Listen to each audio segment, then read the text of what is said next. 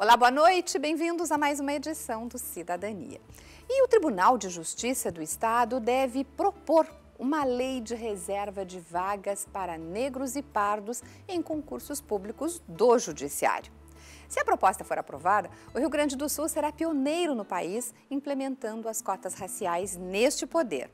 A iniciativa por um sistema próprio surgiu após um projeto do legislativo ser considerado inconstitucional. Mas sobre esse assunto e para tirar dúvidas assim nesta linha, nós estamos recebendo hoje o presidente da Ajures, Eugênio Couto Terra, e o assessor jurídico da Comissão de Direitos Humanos da Procuradoria do Estado, ativista do Movimento Negro, procurador Gleidson Martins Dias. Boa noite, bem-vindos aqui ao Cidadania. Prazer em recebê-los. Acho que podia explicar um pouco mais essa questão né, de, eh, da questão de cotas, esta lei que não, que não pôde ser colocada em prática e, a partir de agora, esse pioneirismo aí do Rio Grande do Sul. Eu explico a parte legal Perfeito. e depois a, a, a, gente vai, a gente vai entender. Ah, o que acontece? O, o Legislativo do Estado do Rio Grande do Sul aprovou uma lei geral tá, de estabelecendo cotas para o Judiciário, para o Ministério Público, a Defensoria, estabelecendo que todos teriam que ter cotas por uma questão técnica jurídica, que se trata da autonomia dos poderes, que o judiciário é um poder, é, é, que a, a, iniciativa de lei se entendeu quando houve o julgamento, que tem uma interpretação razoável jurídica nesse sentido, de preservar a autonomia do poder, que essa iniciativa de lei tinha que ser do próprio Tribunal de Justiça. Tá?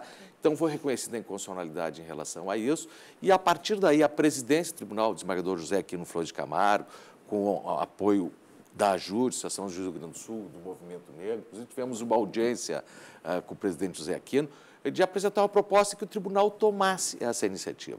E realmente andou, está tramitando, não andou, and, começou a andar no tribunal uma proposta a ser feita pelo próprio tribunal para encaminhar para a Assembleia Legislativa, estabelecendo cotas né, em favor de pretos e pardos para os concursos de juiz de direito e de serviços notariais também, né, além dos outros servidores.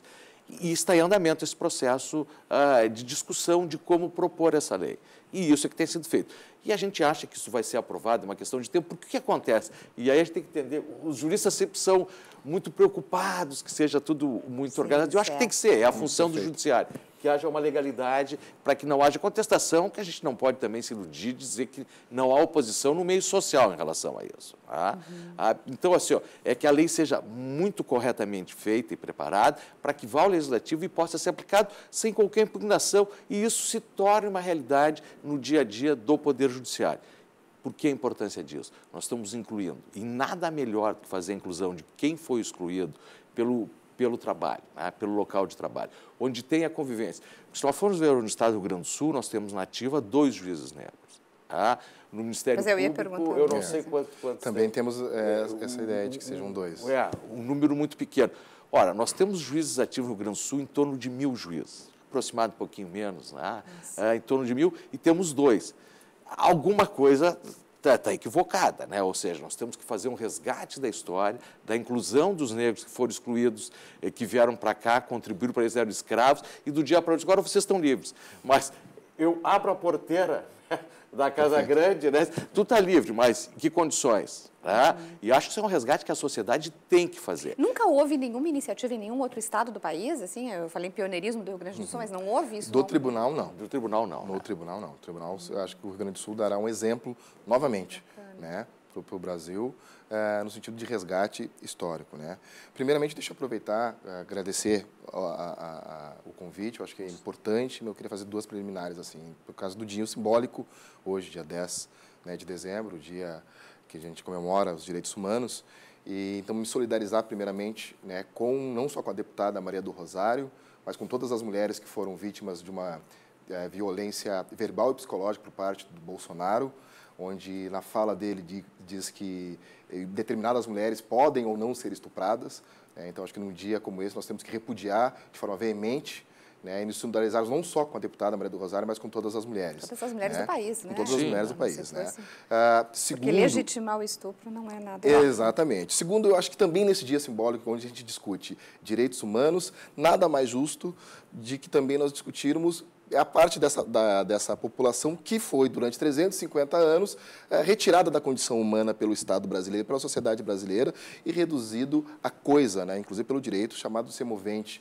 Né? É, então, uh, é, falar do, do, resgate, da necessidade de implementação de, de, ações afirmativas, mais especificamente de cotas raciais, acho que é muito importante. E essa parceria né, da Júris, né, que tem uh, sido uma parceira incansável, pública, que fez uma, uma, um debate público uh, com os, os três um, uh, melhores juristas do Brasil, que foi o desembargador Rui Portanova, o professor Roger Halpe Hills, o professor Ingo Sarlet, né, já falando e já se pronunciando, né, presidente, na necessidade de termos cotas raciais, eu acho que, que é uma é, demonstração que o Rio Grande do Sul, no que se refere a esse tipo de proposta, é sim pioneiro. Né? Não, é, não é à toa que daqui saiu a proposta do 20 de novembro do nosso saudoso Oliveira Silveira. Né?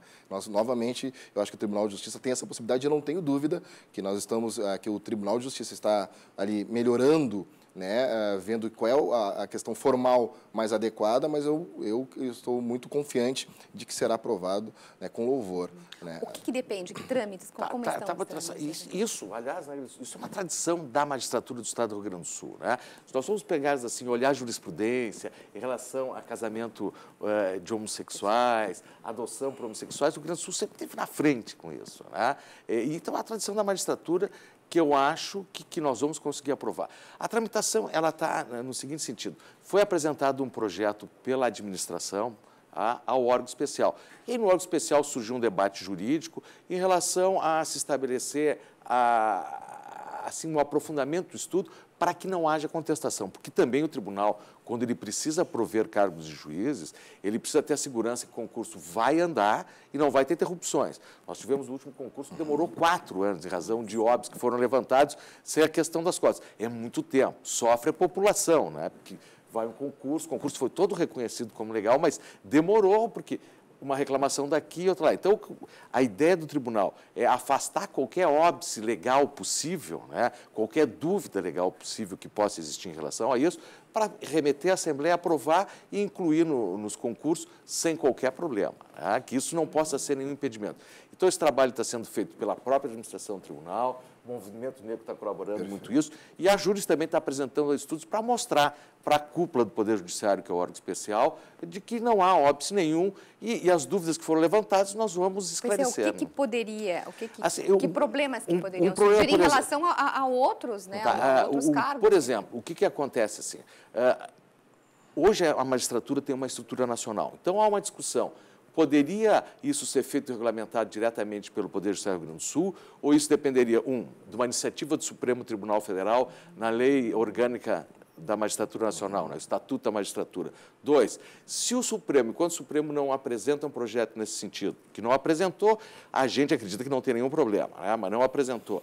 Se em o Supremo não, não tendo uh, nenhum projeto, seria uma regulamentação que deveria ser feita pelo CNJ, e se o CNJ regulamenta a questão das promoções e tudo.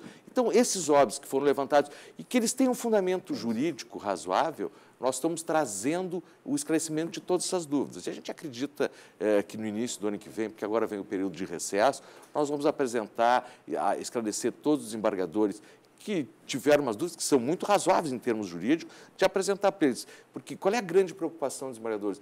Tenho absoluta certeza que não é em relação ao mérito, da importância. O mérito está superado. O mérito está superado. Até a própria outra decisão do tribunal, quando reconheceu, foi a questão da iniciativa. Tá? Então, nós estamos atacando esse foco para demonstrar, terminar qualquer dúvida e aí ser aprovado. E em relação ao que tu falasse a Maria do Rosário, né, essa discriminação do Bolsonaro, a Júris, inclusive, hoje emitiu uma nota pedindo que a Comissão de Ética da Câmara ah, tome uma iniciativa, Perfeito. porque não se pode admitir. Tá? Porque não é o fato de ser um parlamentar que vai pedir que ele venha com violência de gênero. Tá? E outras formas. Ele foi além. Ele foi além, democrático, ele demais. Sabe? A gente foi, inclusive, hoje a Júlia lançou uma nota pedindo isso, né? que a Câmara tome uma atitude, né? porque não se pode aceitar que o parlamentar, em nome de sua imunidade, ele atente contra a democracia, certo. sabe? Porque, ainda mais é, considerando os direitos humanos, que tem sido um processo civilizatório que vem avançando no Brasil, mas ele não pode permitir que um parlamentar a saque ofensas aos direitos humanos de gênero e todo de qualquer forma. Ele se assume estuprador, e né? se assume estuprador. Porque, sabe? Ele se assumiu estuprador quando ele disse, olha, não te estupro, porque... É, é e, ele, e a questão de legitimar um ato que se tem tanta, uma bandeira tão forte, né? É. Tem uma luta tão grande por tantos movimentos e que nós mulheres né, é. estamos nesta luta, eh, levantando essa bandeira há tantos anos, Exatamente. há tanto isso, isso é uma, e essa violência em todas as partes do mundo, e vir Sim. aqui no Brasil legitimar no Congresso é. Nacional. Não, um parlamentar, né? A gente não aceita de ninguém, mas imagina um, um parlamentar ter a representação da cidadania, por mais eh, a atitude ideológica contrária que ele tem Sim, tal, não, é, e nós temos isso é legítimo ninguém é, sabe sabe não é questão ideológica não, tem parlamentares que têm uma ideologia mais direita outros mais esquerda mas todo com um nível de respeito aos direitos humanos né claro. a democracia né? mas é, Gleitson, só para a gente não. também e, e, assim ó a, a questão e, a questão das cotas por exemplo no serviço público estadual uh, por parte do movimento negro está superada tem discussões tem, tem como é que está? Como é que está essa questão? Eu acho que nós temos que entender assim. Eu divido, uh, por exemplo, a história brasileira em três, em, em três períodos, né? Assim, é, claro que é uma forma de entender isso, não é? é só uma, eu acho que nós passamos de um estado uh, racista, vamos dizer assim, né? Uh, oficialmente racista, né? desde da, do, da colonização, né? Que já é um ato Sim. de racismo, é um ato de invasão, né? Até 1888. E depois de 1888, nós passamos, na verdade, aí vem 89 com, com, com a República, mas aí nós, nós vamos passar um período que ele se apresenta tão somente formalmente uh, uh, antirracista.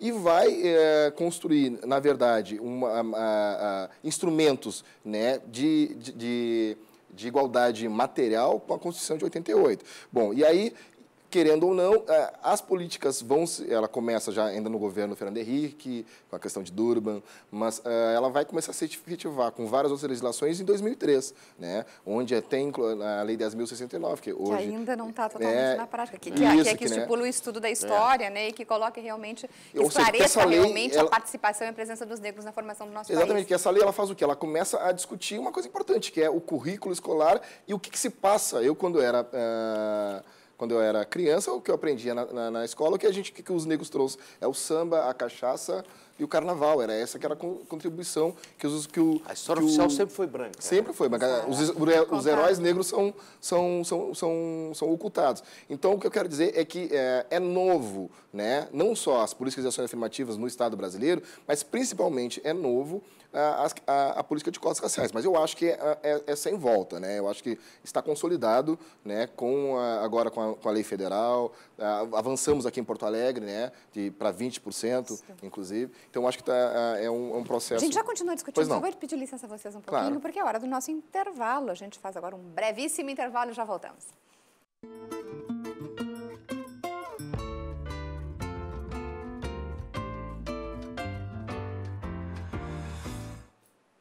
Começamos esse segundo bloco falando sobre a edição da campanha Papai Noel dos Correios deste ano, que já está, olha, nos últimos dias. E é sobre essa campanha a dica de hoje da Mariana Bayerli. Você pode fazer o Natal de uma criança mais feliz, participando da campanha Papai Noel dos Correios. Você pode adotar uma das cartinhas e presentear uma criança. São diversos pontos de coleta de cartas aqui em Porto Alegre e no interior do estado também são 80 pontos. Então dirija-se a uma das lojas dos Correios e faça a sua adoção, apadrinhe uma cartinha. Em 2013, só no Rio Grande do Sul, foram 44 mil cartas apadrinhadas e presentes distribuídos às crianças aqui no nosso estado. E em todo o Brasil, esse número chegou a 500 mil cartas adotadas. Faça você também a sua parte. Faça o Natal de uma criança mais feliz. Corra porque ainda dá tempo. É até este sábado, dia 13. Mariana Bayerle para o programa Cidadania.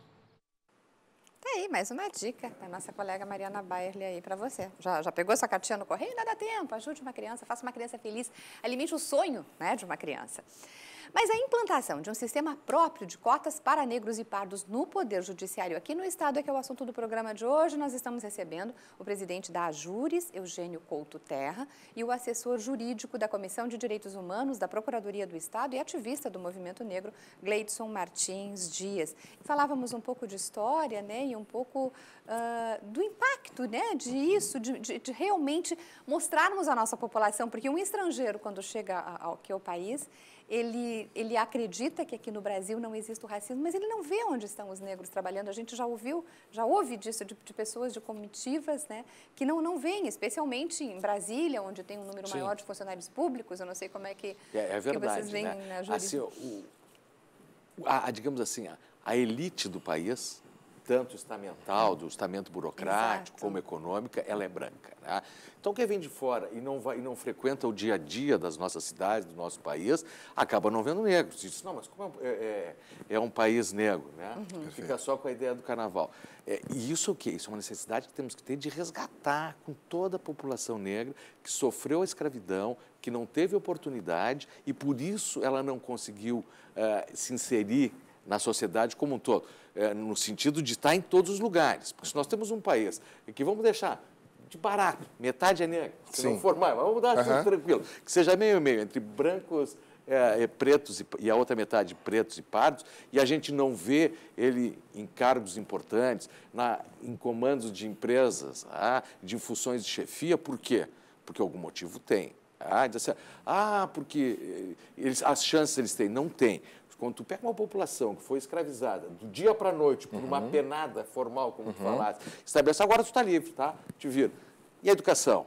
Uhum. O que, que foi feito? E o acesso. O acesso, né? O que, que assim, quando, não, estou dizendo lá, quando foi feito assim, o acesso à educação, como é que faz? Como entra? Né? E o estímulo nessa carreira, o senhor, tá, a senhora é da Júris, né? Isso. Especialmente nisso, o estímulo, acho que o doutor Jorge Terra que sempre fala nisso, a, a seguir uma carreira. Exato. Mas é como é, é, que isso É que tu tem que dar tem que condições. Se debater muito. De, tem que dar condições de chegar para se tornar natural e vencer o preconceito. Tá? Porque isso tem um preconceito social muito grande. Então, quando tu estimula, quando tu reconhece que a sociedade tem que fazer um resgate de uma dívida social que ela tem com a população negra e parda, tu começa a estabelecer a igualdade, tu começa a ver a igualdade na prática. E o importante é entender assim, porque às vezes a, uh, não fica bem claro assim, pô, mas isso vai ser para sempre? Não, isso é uma ação afirmativa, ela tem um prazo, até que a gente consiga elevar a, a, população negra um patamar de igualdade, aí não tem mais porquê. Em todos os lugares do mundo, nenhuma política afirmativa de inclusão, Perfeito. ela é para sempre. Né? Não é assim, ah, o coitadinho do negro, o resto da vida vai ter... Não, a gente precisa que ele fique no mesmo patamar, que ele tenha as mesmas oportunidades de uhum. acesso a trabalho, estudo, a tudo, e aí, e culturalmente também, a história reconhecer ele, e quando for igual, não precisa de mais cotas. E, e como, e separar, é, como, como, separar essa questão, assim, ó, a, a, sistema de cotas não é tratar alguém como coitado, como, uhum. como eu gostaria que tu falasse Exatamente. sobre isso. Não, nós vemos, o movimento negro vê, é, o movimento negro primeiro já faz, é, isso que é importante também destacar. Acho que a vitória das cotas raciais no Brasil ela se tornou uma realidade porque o movimento negro, é, é, o movimento social negro, fala isso há mais de 50 anos com, com nomes e denominações diferentes. Né? Ou seja, mais a necessidade de vermos um Brasil que se apresentava para o mundo como uma, um país é, multicultural e nós sabíamos né, que nós não estávamos representados na, na, nas camadas é, de poder e prestígio, nós apresentávamos para a sociedade brasileira a necessidade real de, primeiro, reparação por tudo que foi feito, mas também de compensação e de igualdade material. Bom, esse é o primeiro passo. Mas, é, então nós, mas nós vemos é, a, a, as cotas raciais como um direito não só pelo que passou. Ou seja, a gente não fala só no passado e também é, eu gosto sempre de falar da quando na DPF do DEM que discutiu a inconstitucionalidade das cotas, sugeria a inconstitucionalidade das cotas, o que o STF por unanimidade disse que era constitucional, né? Uh, o parecer da a chamada DPF, né, 186, do Ministério Público Federal. DPF, desculpe. A, a arguição de descumprimento do ah, preceito fundamental. Descumprimento do preceito né? fundamental, né? E aí, uh, então, uh, o parecer do, do, Ministério Público Federal ele é, é, é, maravilhoso nisso, porque ele fala assim, para além da, da justiça compensatória, tem uma outra justiça, que é o que nós estamos falando, que é a justiça distributiva. Né? que é ajudar a, que é a possibilidade de acabar com estereótipos né? É dar a possibilidade de uma pessoa, de, uh, de uma de uma pessoa negra saber que ela pode ser juiz, que ela pode querer ser presidente da Júris um dia, que ela pode ser uh, procurador de Estado, que ela, né, que ela não precisa ser tão somente uh, ligado à questão culturalista, né, ou jogador de futebol, ou uh, sambista, o pagodeiro. Seja, nós também temos essa possibilidade. Agora, o que precisa são instrumentos reais que dê essa possibilidade, né? Porque há uma grande diferença entre igualdade e justiça. E a justiça é exatamente isso, é tu conseguires dar a possibilidade material das pessoas uh, estarem uh, disputando no, no, mesmo nível. O que se está discutindo aqui no Brasil hoje é isso, né? O que justifica pelo princípio básico de proporcionalidade, que 53% da população esteja completamente alijada, fora, né, nós, dos 55 deputados estaduais, nenhum é negro. Né? Eu gosto de dizer também é, uma questão simbólica que mostra esse caráter, essa necessidade do Brasil teve de se embranquecer, que também isso eu, eu não falei. É, é, quando eu falava da questão de, que que o Brasil era formalmente, uh, se apresentava formalmente racista, antirracista, uh, agora em 2014 a ONU disse que o Brasil tem um racismo estrutural e estruturante.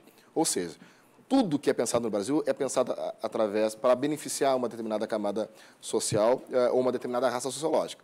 Né? Mas só que isso já foi falado em 1950 quando a Unesco veio para o Brasil Sim, e, a... e, e, descobriu, então, né, que... A, a, e a luta pelos direitos civis nos Estados Unidos, né, que estava muito é, forte, Não, né? é, e tinha um debate que quem, inclusive, que é a Floresta Fernandes, o professor Floresta Fernandes, foi o, o primeiro, é, a primeira escola sociológica ah, a fazer a análise do racismo brasileiro. Então, então, lá em 1950 já diziam que o Brasil era um país é, o maior, mais racista do mundo. Mas, Gleidson, pois não. E, e, Eugênio, nosso tempo... Claro. Sim, né? É que o assunto a, a gente se empolga. Com certeza, a gente convida vocês para que durante o ano de 2015 esse assunto vai estar presente não só né, na, na Júris, no Tribunal de Justiça, mas também aqui na TV. Sintam-se à vontade para mandar notícia de como tudo vai evoluindo. Por hora, eu agradeço a presença ah, de nossa, vocês aqui. Obrigada nossa, mesmo por terem vindo pelas informações que Agradecer a oportunidade né, de trazer e mostrar que o Judiciário do Estado do Rio Grande do Sul, pela sua magistratura, tanto a associação quanto o tribunal, quer avançar, quer igualdade, e não só igualdade formal, igualdade real. Que igualdade real se obtém tratando os desiguais de forma desigual. É verdade. E assim, eu só quero uh, compartilhar com vocês agora, compartilhar a palavra da moda, mas o nosso prêmio, porque o Cidadania ontem, na noite Isso. de ontem, também ganhou mais um prêmio. Você vai acompanhar assim toda a, a história, estou falando aqui, toda a história desse prêmio.